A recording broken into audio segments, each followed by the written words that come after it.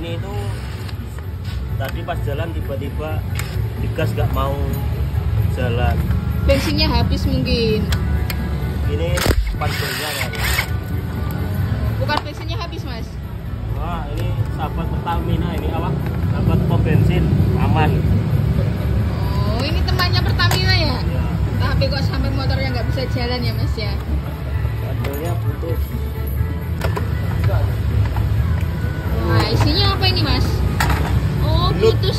Belutnya putus Oh, itu namanya apa ya, Mas ya? Jadi lagi.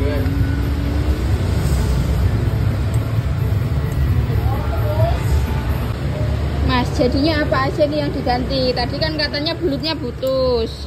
Nah, teman-teman, jadinya ini itu kan motor pasar, asal bisa jalan aja, ya. Ini rollernya tetap kita ganti, roller itu seperti ini.